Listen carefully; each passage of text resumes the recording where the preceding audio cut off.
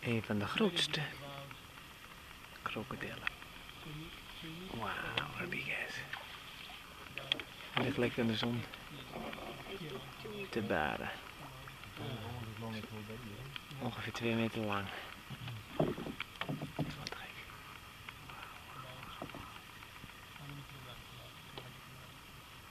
Wat ongeveer 200 kilogram zou je worden. Volgens